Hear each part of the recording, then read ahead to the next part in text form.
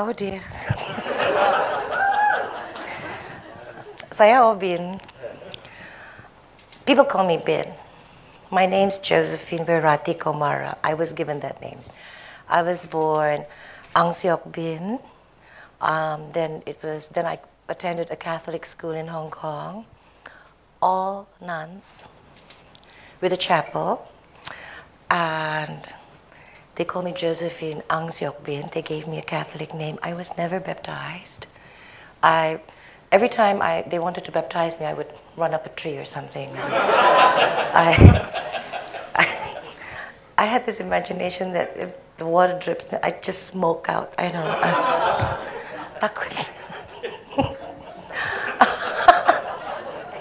and then it became, then one time in my life, um, it had to be Josephine Virati Komara. That was 1960. I was too small to remember, okay. Anyway, um, I was very satisfied with Bin and or Obin because um, coming from a Hokkien family, it's not Ah in front, it's O. So we have Robert is Obed, and then Tom is Otom, and Bin is Obin. So I'm stuck with Obin. Um, I have become a cloth maker. Um, I'm 57 today, and I started.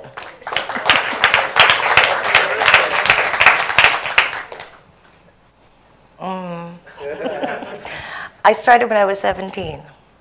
Anyway, to make a short story long, uh, the educational system was finished with me by the time I was 12. They thought that I did not belong there. Um, I agreed. So uh, I, I, I was living in Hong Kong, and because my father had the first travel agency in Indonesia before Garuda, I could live in two countries simultaneously. So if there's a holiday for two weeks, say in Hong Kong or in our school, I would come back to Jakarta. So I was living in both countries, and I spoke Cantonese living in Hong Kong, Hokkien with my family, English and Prokem, Bahasa Indonesia. and my father grew up in Jawa Timur and my mother in... It's a big mess. It's a big mess. So I was born in Jalan Kopi in Chinatown. You cannot be more Chinatown than Jalan Kopi. Believe me. Believe me, it was like a very short street. Um, it was like a little... You live on top and you work and you work downstairs. Um, so I guess I started earlier. Most of my friends were still in school with pigtails and attending classes, and I was already gallivanting around the world. And um, they were very jealous. They were very. I made sure they knew what I was doing. I would go into Baduy, Sumba, Jambi, Solo, Jogja, Surabaya, and it was wonderful. I take the train sometimes, uh, walk around, um, exploring, feeling out my own country, and it was wonderful. I'm glad I did that. It was quite a privilege. I don't think could, it can be done now, but then I started collecting antiques, all kinds of things that um, that really captured my interest. And for me, it's like um, I would, but it was the, from all the antiques, it was the cloth, the kain, which really did something to me. The ulos from Batak, the pua from Kalimantan, the tapis from Lampung, the batiks or the, the, the stitch dyes, the tritik from the kratons of Solo, Mangkunegaran. Uh, then at one time I lived in Solo and I had the privilege to know Sri Sunan um, the Sultan, and he took me around town in a becha, and his favorite thing was to take STMJ, susu telur madu jamu, every night. he just passed away. He, he was quite a womanizer, too. he was quite a royal character, too. Anyway, uh, that went on. And so it was around 1979 I started to make the cloth weaving, tenun weaving, not batik. really hand spun silk, raw silk, and I started making it. We had we we start, start studying. I fell in love with the cloth. Was totally mesmerized. I think I got the cloth in me, and my mother used to say, "You're a woman of the cloth." uh, but so I love to I love to get the antique pieces with the holes in them because from the holes you could see the frays, the fringes, and from there you can sort of like see the technique within the cloth between the warp and the weft. And you could see the footwork there. It was like reverse engineering. I would never take apart an antique piece of cloth unless I really want to know what's inside. Know. I understood ikat. I understood all the techniques, and I realized reading the books and studying that the majority part of the entire cloth making glossary in the world exists in Indonesia, throughout all, throughout the entire region. And that really blew my mind. So it was in 1979 that I started to do the handspun cloth ikat. We did not dare to do warp ikat. That's very difficult for you, for those of you who don't know, but we didn't. We did the weft ikat. It was the thick fabric. So it was only appropriate for interior curtains, lampshades, pillowcases, bed covers. I think I was doing the right thing at the right time. During those days, 1970s, it was the beginning of the PMR. It was like um, investment coming into Indonesia, joint ventures. And there were a lot of Japanese textile companies coming into Indonesia and I think they have created Bandung now for you, the textile industry there. All the Japanese uh, fabric or textile people were all in Bandung. They joint ventured with uh, Indonesians and they had huge mills. There were hotels, Hotel Aryaduta, Hotel Hilton, Hilton Hotel, Mandarin Hotel. So there was a great demand for interior fabrics. And I think that was what really started us out. Like I said, it was doing the right thing at the right time. It wasn't planned though. It went, this went on. This went on 78, 79, 80, 82, 83, 84, 85. Something happened to me in 85, which I shall not speak about here, but something happened to me, something so devastating. At the same time, I was bored because by that time, everybody was already doing ikat, and I was bored. Um, when I first started, nobody was doing it. I, I, was, I, was, I was just bored. And then something happened, and I was down. I couldn't think. So one day, in my home, I had two big chests, Palembang chests, we call them. And in one chest, I had the entire antique or vintage textile collection of the woven, the outer islands, Luar Pulau, from Tanimbar, Flores, Batak. Then in one chest, I had all the batiks, Jawa, here. So I had my own private exhibition. I still do that sometimes. so I opened the chest and spread out all the fabrics that I knew so well, who taught me so much. Then I opened the other chest, spread out all the batiks over there, and somehow an aisle here was uh, I, it was just there. I didn't mean to do it. I was playing with it. I remember it was like three o'clock in the morning, and um, I was looking at all the fabrics. And I was sitting in the middle, and I'd like to share with you something. A big bang happened. Somebody told me that the world was created out of a big bang. For me, yes.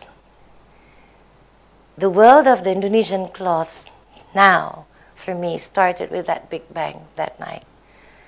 I saw hand spun, hand woven cloth and with hand drawn wax, batik on it, the perfect cloth. I tell you why it, this is something, I saw it in my mind's eye. Why? Because in, in those days, batik was only done on cotton, and that was still imported at best. We don't have cotton in Indonesia. Everything is imported. All the cotton, China, England, India, mostly China now. We used to uh, import from uh, America. But then either that or on silk, imported crepe de chine, shantung, satin. Then when I saw this, this would be the ultimate Indonesian cloth. And that is what we have been doing.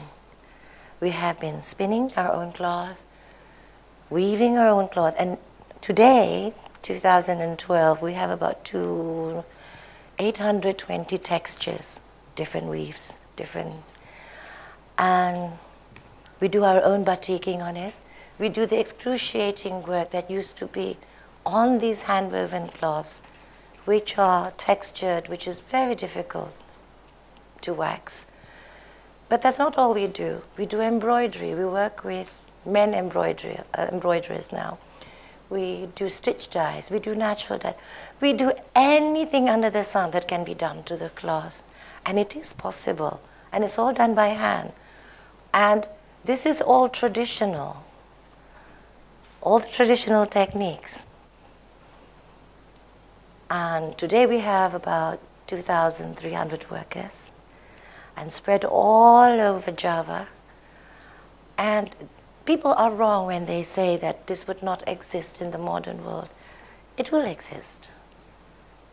There's one thing I would like to share with you. In the 1970s, coming back, we had a very dynamic governor called Ali Sadikin. We used to call him Bang Ali.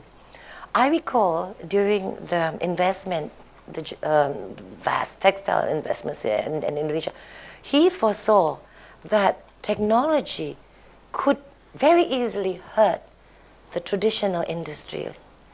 People would not know what they would be buying because the technology of printing is just too good. So he made a stipulation. He said, all traditional textiles like the batik sogan or the, the, the piece fabrics that everybody wears in, in the entire region here uh, all those printed by mass production printing companies are required to have on the side of the cloth here ini textile printing motif batik. This is a piece of textile printed textile with a batik motif. It is the batik motif.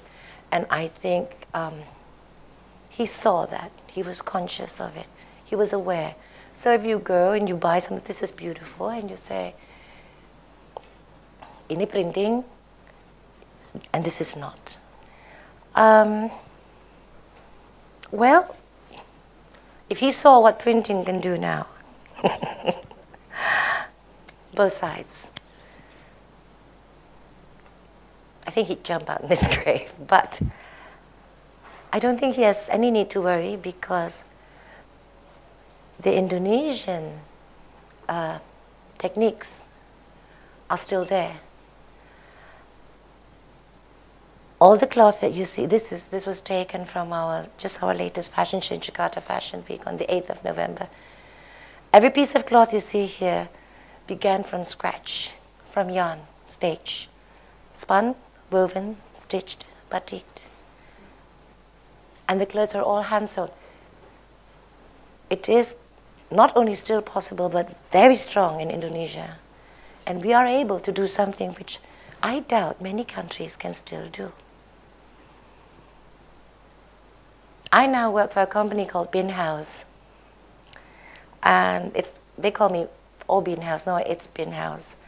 Um, and this is what we do. It's very natural to make cloth and then to make clothes. But I would like to do the same thing to the clothes as we have done with the cloth. Hand stitched, hand patterning, each one, one. And this can still be done, once again, in Indonesia. And I thought, if we can do this, other countries can be doing this too. Um, like batik is a Javanese thing. We have batik Medan now, batik Palembang, batik but I think with the mental, the, the batik requires that mental template. I cannot imagine a Batak doing batik. I cannot. No disrespect. My mother's from Medan. She is too impatient. She will kill the cloth. She will. Can you imagine Sulawesi doing batik? Papua? I can't.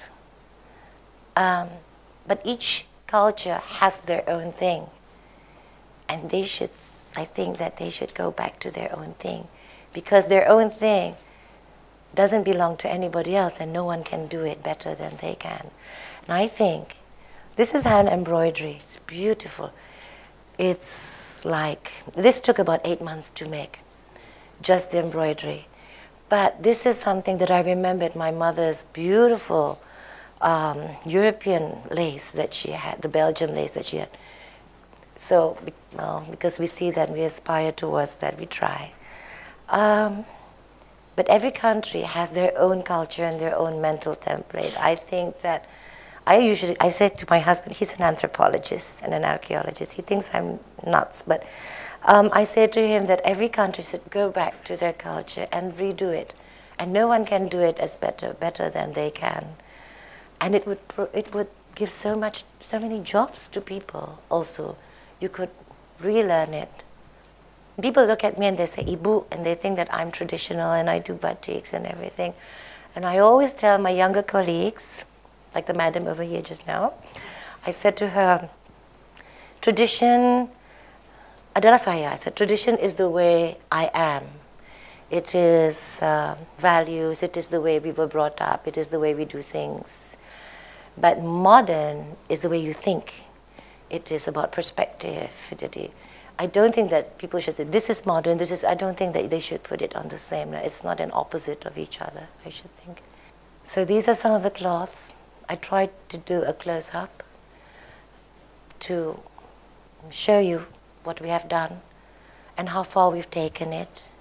We are able to weave, hand weave cloths now, which are so fine, so transparent, so thin. And I think that Indonesia is the only one who can do that. Mm, we still have a long way to go. And this is only one part of it. I've come a long way, and I think I'll be going further. But I want to say terima kasih ya. Thank you.